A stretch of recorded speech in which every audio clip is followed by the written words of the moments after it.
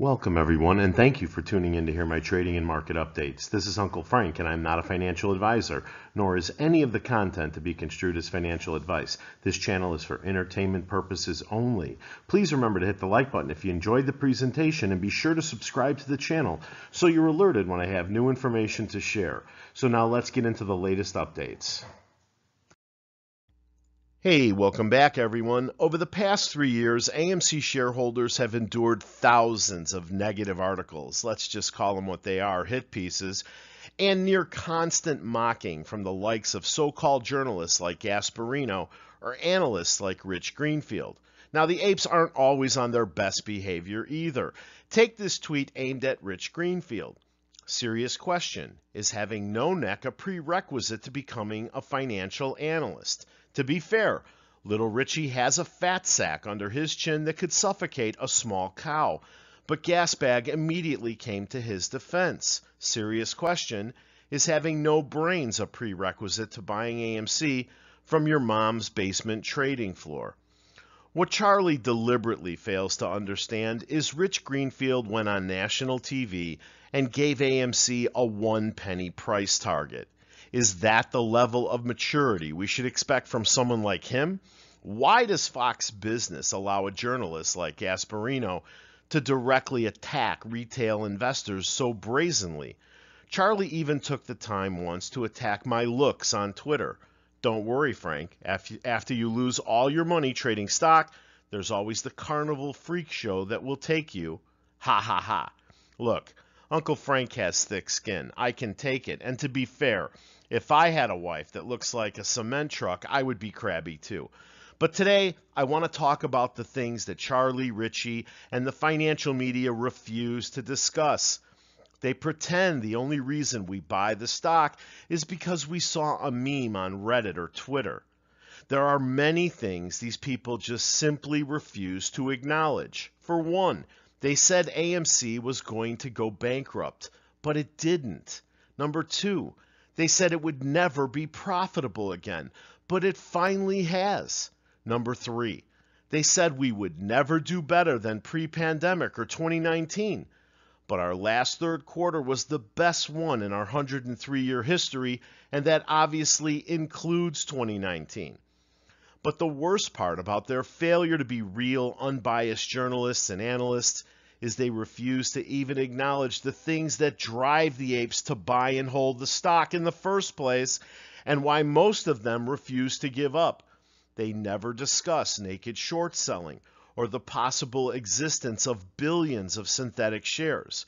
Many apes believe they own the float two, even three times over prior to, the conversion and reverse split. They deliberately never mentioned the ridiculous three year history of failures to deliver on the stock, the constant spoofing and layering of AMC, the outrageous, statistically impossible level of securities lending stemming from AMC, the abuse or misuse of ATSs or dark pools. Did even one journalist mention that APE was halted 10 times on its maiden trading day? Well, I'm going to cover some of the things they refuse to in this episode. And I believe some of these things will be the exact same topics they cover in the Oversight Committee hearings in the future, where the SEC will be forced to explain why it did nothing about the greatest securities fraud incident in our entire history, just like they did with Bernie Madoff. We're going to analyze Wall Street's beef with AMC from the top down, starting with Equilend. For those of you who don't know, Equilend is a securities lending platform started in late 2001 by a consortium of leading financial services institutions. From their own website, Equilend is a leading provider of trading, post trade, market data, and clearing services for the securities finance industry. Uh, and they're owned by Bank of America, BlackRock, Credit Suisse, Goldman Sachs, JP Morgan, Morgan Stanley, National Bank of Canada, Northern Trust, State Street, and UBS. Uh, the CEO at Equilend is Brian Lamb. I think he's been there like 18 years. He hails from Barclays and Wells Fargo and was also the assistant maitre d' and captain at the Montauk uh, Yacht Club.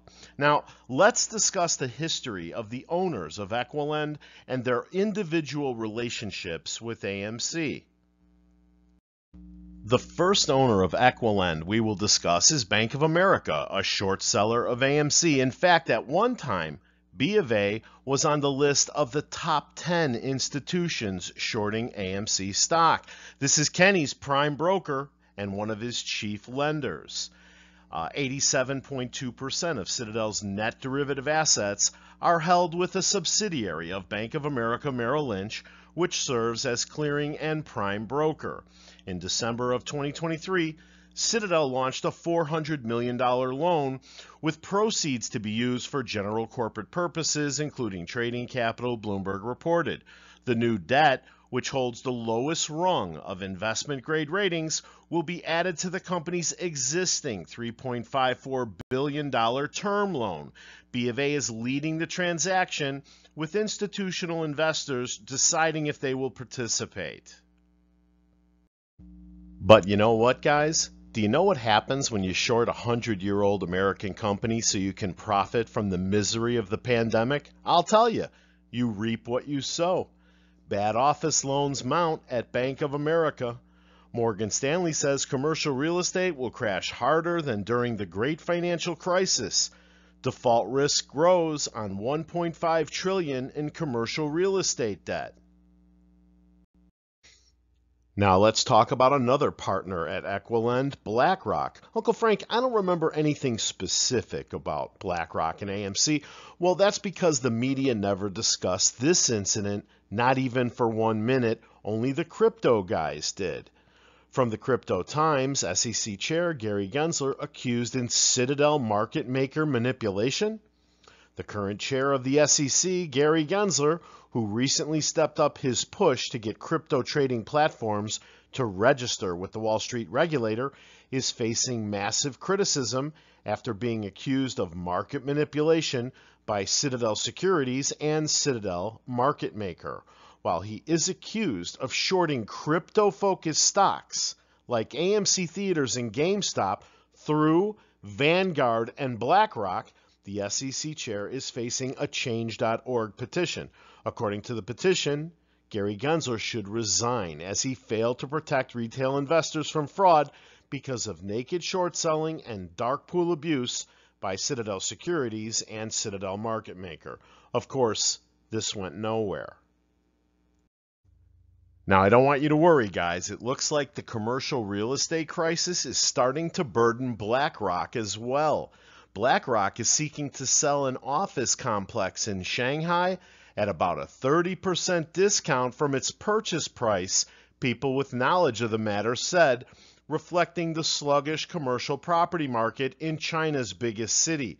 The New York based asset manager is marketing the property in northwestern Shanghai at a reduced rate to speed up the sale, according to the people who asked not to be identified because the information is private. A representative for BlackRock declined to comment. Now let's cover these co-owners of Equilend, Credit Suisse and UBS together. Every ape remembers the war we had with Credit Suisse, a short seller of AMC, the company that put a 95 cent price target on our stock and ended up going lower than that itself before it blew up. UBS was forced to absorb Credit Suisse and now has inherited its problems, which may lead to its demise as well. I think these headlines say it all. UBS to buy Credit Suisse for nearly 3.25 billion to calm turmoil. UBS reports $785 million loss due to costs of Credit Suisse integration. Swiss Banking Group has cut 13,000 jobs this year as it recovers from rushed rescue deal. UBS hit by old toxic debt costs ahead of hard Credit Suisse task. UBS takes $268 million hit for Credit Suisse misconduct. UBS to pay 1.4 billion to settle financial crisis fraud case. And then there's Goldman Sachs, the company apes on Twitter love to hate for relentlessly spoofing AMC's stock which seems like an everyday occurrence. They seem to do it so brazenly, you would think one of their former partners was running the SEC or something. It's become so prevalent, there's even a running spoof report on Twitter as of November, which sadly is the most current information I can retrieve. Goldman Sachs is still a put holder against AMC. And now we move to Equilend co-owner JP Morgan Chase. Now, Uncle Frank, are they short AMC? Well, I can't find that data directly, but they are 100% owners of hedge fund Highbridge Capital, who were significant put holders against AMC. Highbridge was also one of the five lien holders at Hycroft Mining when AMC bought into that previously bankrupt gold mine. All five of those lien holders at the time were or are either short sellers of AMC or put holders against it when Adam made that investment. Fun fact when JP Morgan bought a controlling stake in Highbridge for more than a billion, sex offender Jeffrey Epstein earned a finder's fee of about 15 million, the Wall Street Journal reported. JP Morgan's relationship with Highbridge and Epstein turned out to be an expensive one last year. Judge approves JP Morgan's $290 million settlement with Epstein victims. And from CNN, JP Morgan agrees to pay 75 million to settle lawsuit with US Virgin Islands. Uncle Frank broke the story about JP Morgan, Highbridge, and its connections to Hycroft and AMC seven months ago. Hit that subscribe button if you like being ahead of the curve. Now, Uncle Frank, what about those other names you mentioned that also own Equilend? Well, if you mean the National Bank of Canada, yes, they held a pile of puts against AMC like everyone else, but they sold them. In their case, that may have been a hedge. You have to look at both sides of the trade. State Street Northern Trust actually owns some AMC, but Northern has been selling like many other institutions. Uh, in November, their quarterly change in shares dropped 86.5%. In August, State Street actually added 1.7%. In November, UBS dumped 107.5% quarterly change in shares. And in December, Vanguard also reduced by 73%. Institutional investors have sold a total of 78.6 million shares in the past 24 months. That represents about 2.19 billion in transactions. But what about Adam Aron, his senior management team, and the entire board of directors? Well, we all know collectively they haven't purchased one single share of AMC in over 6 years, but sold over a billion to us. That entire group owns less than 1%, actually less than a half of 1% at 0.28. But I don't want you Adam Aron fanboys to worry. The 2023 stock bonuses should be going out soon, so Adam and Company will have plenty more free stock to blow out of. So there it is, guys, the top of the food chain, the multi trillion dollar behemoth, the secretive securities lending cartel. All good friends of AMC Entertainment, wouldn't you say? There's only two names on the screen that weren't short AMC or long puts against it. But now let's get to the important stuff. Okay, now I'm about to blow your mind, but we've got to start back in 2022. Global securities lending revenue up 6.6% year over year for 2022 says DataLend. That's a division of Equilend, right? The global securities finance industry generated 9.89 billion in revenue for lenders in 2022 a 6.6% increase from 2021, according to DataLend. Global broker to broker activity, where broker dealers lend and borrow securities from each other, totaled an additional 2.73 billion in revenue for 2022. The top 5 earners in 2022 were Lucid, GameStop, Beyond Meat, Sirius, and Cassava Sciences. The securities in total generated 769 million for lenders over the course of 2022, an increase from the 413 million generated by 2021's top 5 earners. Stay with me. Okay, so 9.8 billion in 2022. Now let's do 2023. DataLend. Securities lending revenue in 2023 reached modern record of 10.7 billion, up 8.6% over 2022. Now, when you scroll down the release a little bit, you see this. AMC stock generated 511 million in revenue for lenders. That's a half billion, most of any security globally. Globally, guys, not Google, not Tesla, not Exxon. A little theater stock out of Kansas. But there's more. Okay, now this article is from September, so it doesn't even include the third and fourth quarter of 2023, but I need you to check this out. You see, this is the H1 data, so the first half of the year.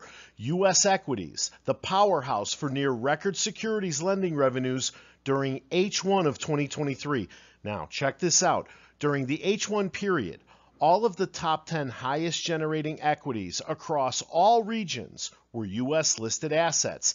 AMC outpaced all of the other names, generating in excess of the 450 million alone. AMC generated more than the next four highest revenue generating names combined over the H1 period, including Beyond Meat, Lucid Group, Upstart, and GameStop, right? Okay, guys, I want you to know when you add this to the history of FTDs on AMC, this is absolutely impossible without the existence of synthetics, in my opinion. And Wall Street knows it far better than we do.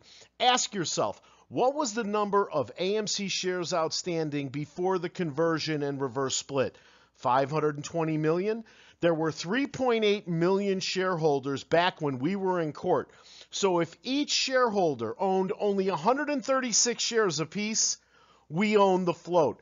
And that's without institutional holders. So, where did all this other stock come from to lend? This is why you have to complete the survey at projectpopcorn.com. If they get a good enough size sample, we may prove the apes own the float two or three times over before the conversion. This is the end of the argument, by the way. Ape, its conversion, and the reverse split was exactly what Wall Street needed to escape this mess, and Derek Van Zandt of Citi planned it in our boardroom. Then Adam Aron and Philip Lader of Morgan Stanley signed off on it. There is no more arguing. Okay, so now we know who Equilend is. They're Wall Street. But are you still wondering why every time AMC management does anything, it hurts the price of the stock? will stop wondering. Wall Street was short AMC. Wall Street runs AMC and has run AMC since Adam got there. Now, here's a headline from last week Equilend to be acquired by Welsh, Carson, Anderson, and Stowe. The global tech, data, and analytics company for the securities finance industry today announced that a private equity firm, WCAS, has agreed to acquire a majority stake in the company. The acquisition is set to close in 2Q of 2024, subject to regulatory approvals.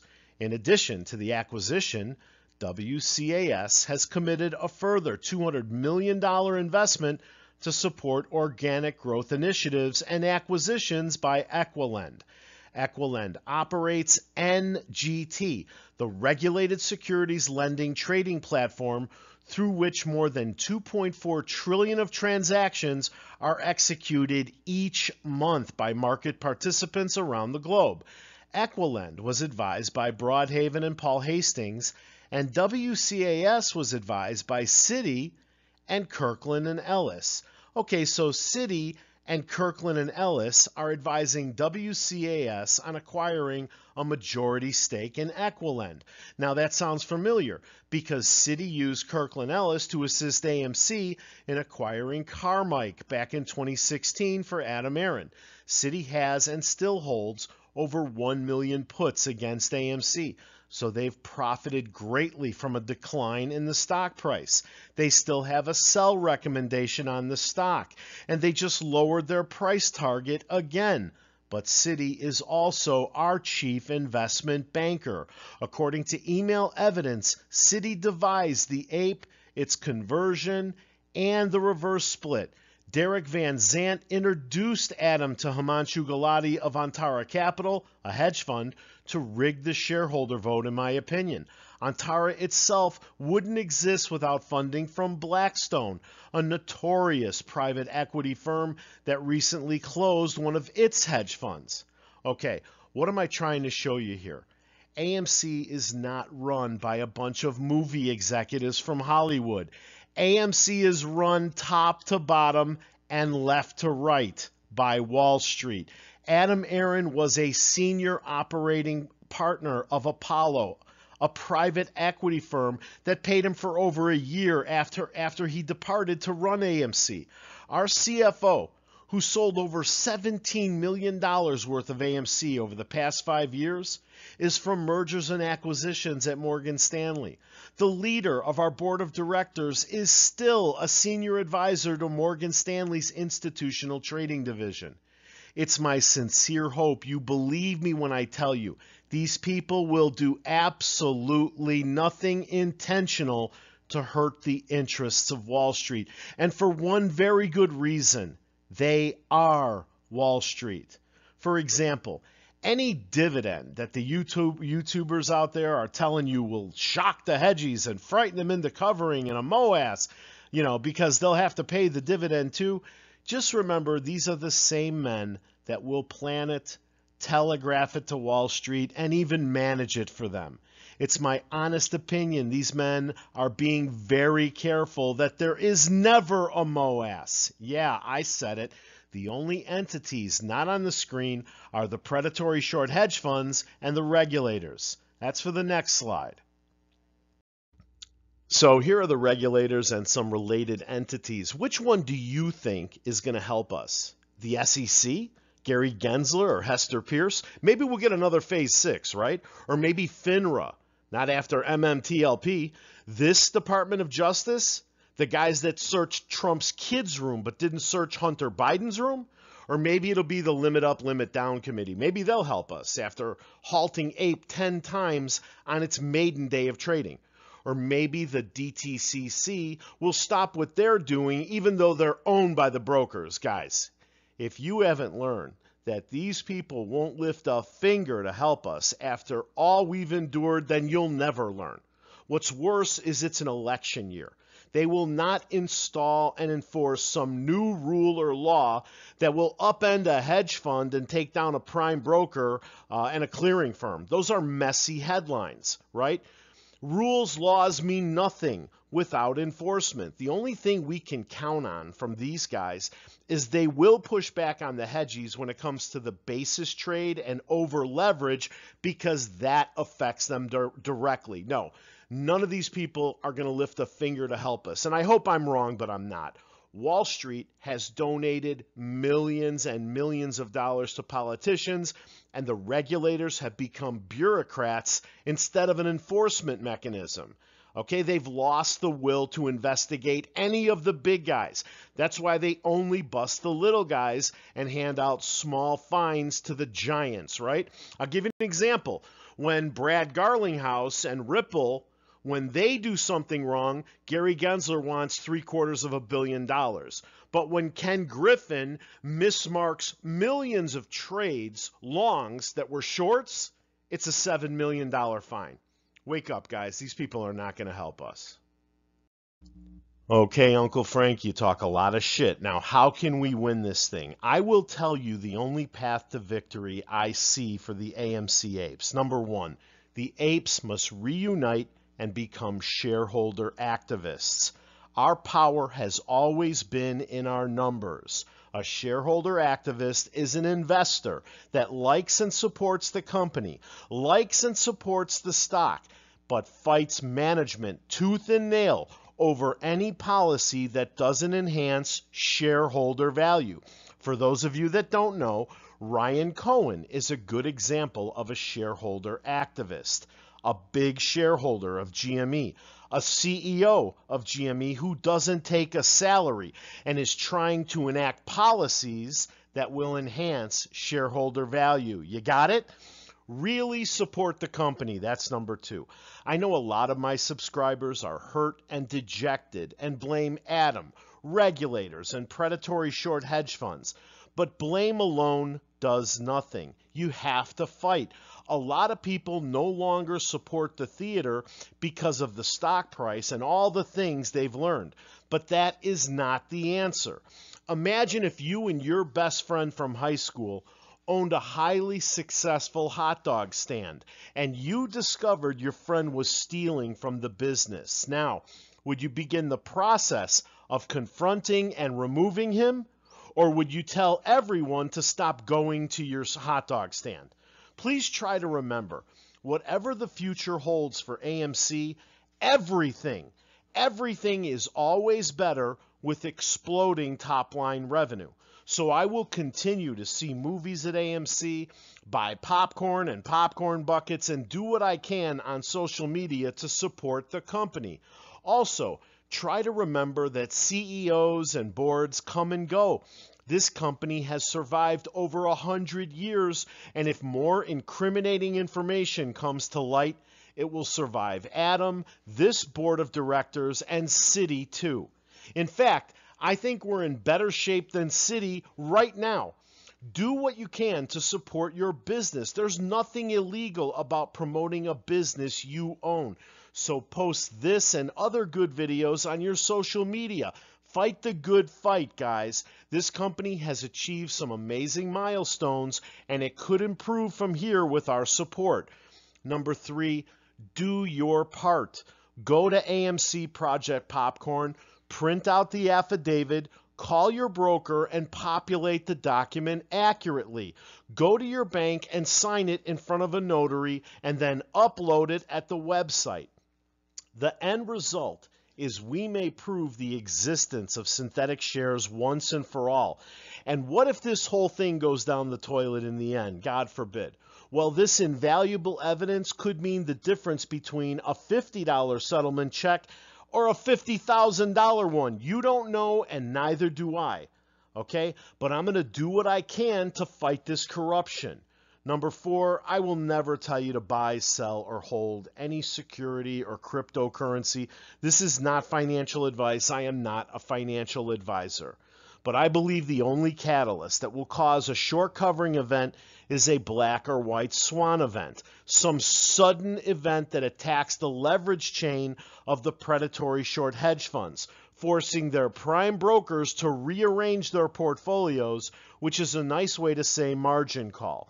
The skies are currently full of potential swans, and don't tell me they never happen.